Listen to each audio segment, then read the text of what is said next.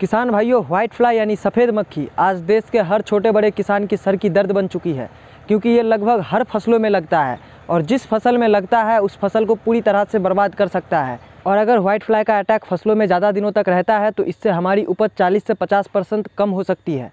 इसीलिए आज की इस वीडियो में जानेंगे कि व्हाइट फ्लाई की वजह से हमारे फ़सलों को क्या क्या नुकसान पहुँचता है, कैसे व्हाइट फ्लाई हमारे फ़सलों को नुकसान पहुंचाता है, और फिर जानेंगे वो कौन सी सबसे ज़्यादा इफ़ेक्टिव कीटनाशक है, जिसके इस्तेमाल से व्हाइट फ्लाई पूरी तरह से कंट्रोल होता है, और क्या उसकी सही इस्तेमाल करने का तरीका है मतलब किस तरह से उसका इस्तेमाल करें कि हमें हमें ज़्यादा से ज़्यादा फ़ायदा मिल पाएगा।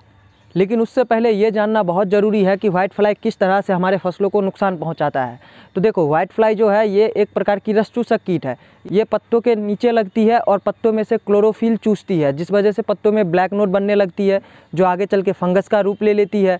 और सबसे बड़ी सरदर्द तो ये है कि ये आपके फ़सलों में वायरस का वाहक भी होता है। इस वाइट फ्लाई की वजह से हमारे फ़सलों में तरह तरह का वायरस का आगमन भी होता है, जैसे leaf curl cassava mosaic golden mosaic virus जैसे खतरनाक वायरस हमारे फ़सलों में व्हाइट फ्लाई के वजह से आता है। और इतने में व्हाइट फ्लाई रुकता नहीं, ये आपके पत्तों पे हनी ड्यू छोड़ देता है। इससे और भी जो तरह तरह के रसचूसक कीट है या अन्य कीट है, उनको आमंत्रण मिलता है, जिससे तरह तरह के कीटों का अटैक आपके फ़सलों में होता है। और ये बहुत ही तेज़ी से अपना पॉपुलेशन भी फैलाता है। ये एक पौधे से तुरंत आपके पूरे प्लॉट में फैल जाता है।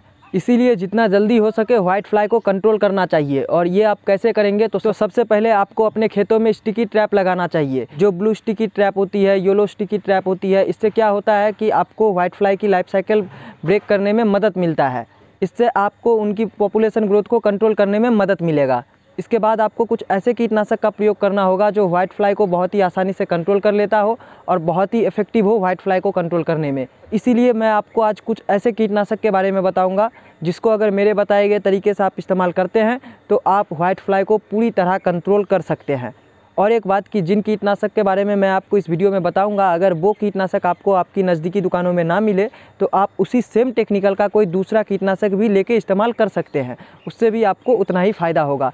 बसरते कि आपको वो ब्रांड अच्छी लेनी है। ऐसा नहीं कि कोई भी लोकल कंपनी का दवाई उठा के स्प्रे कर दिया।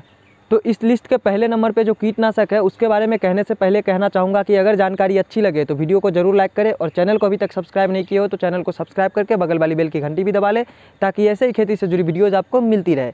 तो इस लिस्ट के पहले नंबर पर जो कीटनाशक है, वो है यूपीएल का लेंसर गोल्ड। इसमें आपको दो टेक्निकल देखने को मिलेगा।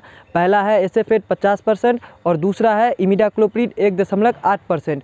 ये सिस्टमिक प्लस कॉन्टैक्ट दोनों एक्शन में काम करता है। और अगर इसकी परफेक्ट डोज की बात करें तो प्रति एक लीटर पानी में लेंसर गोल्ड दो ग्राम से ढाई ग्राम लेके आप स्प्रे कर सकते हैं। इससे आपको अच्छा रिज़ल्ट मिलेगा। प्रिवेंटिव में अगर आप इसका इस्तेमाल करते हैं तो डोज थोड़ा कम रखेंगे तो भी कोई दिक्कत वाली बात नहीं है। लेकिन दो से ढाई एम इसकी परफेक्ट डोज है। ये व्हाइट फ्लाई के साथ साथ thrips aphid jassid bollworm stem borer को भी कंट्रोल कर लेता है।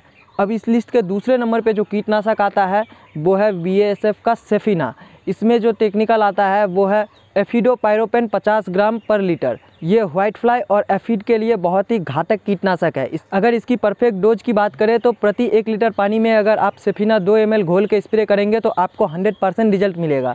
अगर आप इसका इस्तेमाल प्रिवेंटिव में करना चाहते हैं तो डोज थोड़ा कम रखेंगे तो भी कोई दिक्कत वाली बात नहीं है। और इस लिस्ट के तीसरे नंबर पर जो कीटनाशक है, वो है बायर का मोवेंटो एनर्जी इसमें जो टेक्निकल आता है, वो है इमिडाक्लोप्रीड तीस दशमलव पाँच परसेंट। अगर इसकी परफेक्ट डोज की बात करें तो आपको पंद्रह लीटर पानी की टंकी में पाँच से छः एम एल मोवेंटो एनर्जी लेके स्प्रे करना है। और एक बात कि जिन कीटनाशक के बारे में मैंने आपको बताया, अगर इसका स्प्रे आप शाम के टाइम करेंगे तो आपको ज़्यादा बेहतर रिज़ल्ट मिलेगा। और एक सवाल जो बहुत सारे किसानों के मन में आते हैं, कि इन कीटनाशक के साथ हम किसी टॉनिक फंगिसाइड या दूसरे इंसेक्टिसाइड का कॉम्बिनेशन करके स्प्रे करें कि नहीं?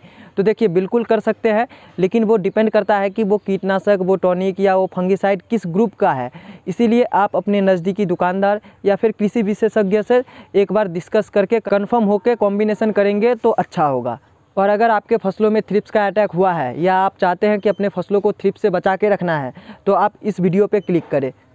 मिलते हैं अगली वीडियो में, तब तक के लिए जय हिंद, जय जवान, जय किसान।